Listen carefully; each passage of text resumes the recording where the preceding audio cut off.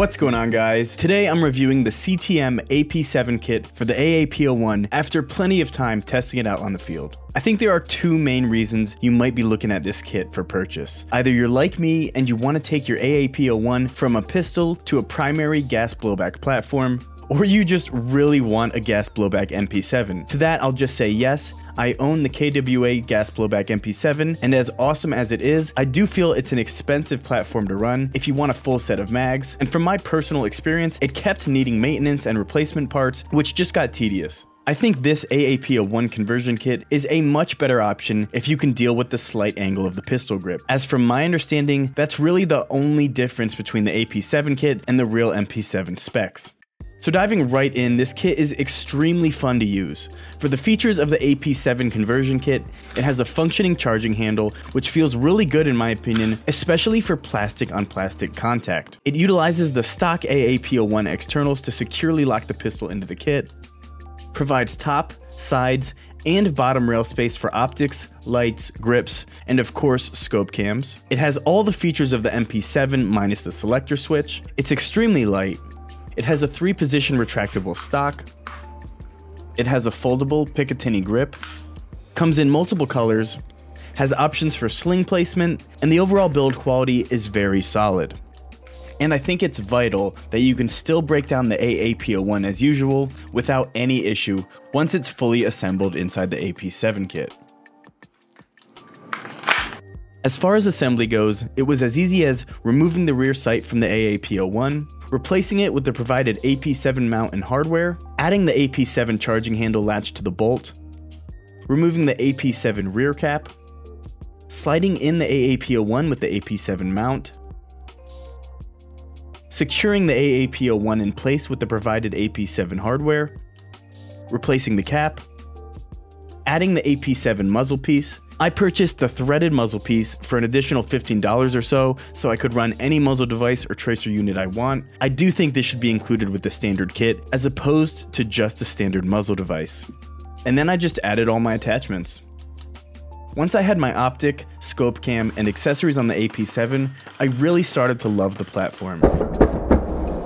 During use, it felt exactly like running an MP7. It was extremely light and comfortable, and very easy to shoulder and find my red dot, especially in stressful situations. As well as switching the rifle to my offhand felt natural and familiar. With an internally upgraded AAP01 sitting inside of it, I could feel the benefits of my longer inner barrel performing at a higher FPS, all while hidden beneath the tactical MP7 visuals. I had so many people asking me about this gun on the field, and every single one of them were extremely surprised to find out it was just a pistol beneath it all. However, for my negative thoughts about this kit, I think there are only two. My main gripe is that the retractable stock has a little bit of give to it when it's extended in the longest position. I just felt some bounce every now and then when shouldering the platform, but this did have little to no effect on my desire to run it. And secondly, this kit just makes changing the firing mode a little bit tougher as the fire selector now sits inside of the AP7 conversion kit.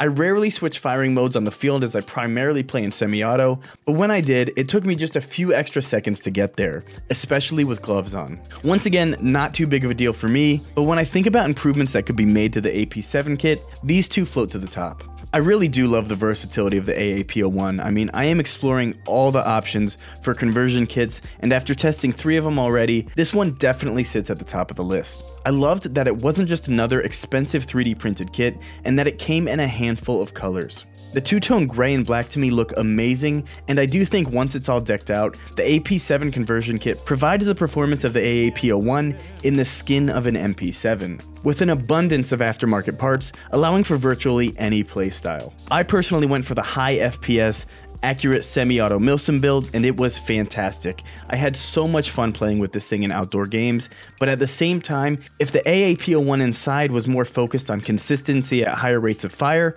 I could see the AP7 kit lending itself to an absolutely nasty full auto SMG build. The possibilities are just near endless, depending on how you build your AAP01 internally.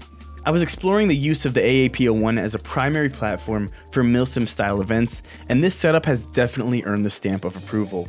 I love the idea of an HPA powered, accurate and reliable gas blowback platform as a primary rifle during immersive military simulation events. This kit will definitely find its way into my travel bag as a reliable backup, or just an extremely fun to run primary platform when stealth is out the window. I hope this gives you something to chew on if you were on the fence about this kit. I haven't run it indoors yet, but my gut tells me it will absolutely thrive in CQB situations, especially with a full auto oriented AAP inside of it.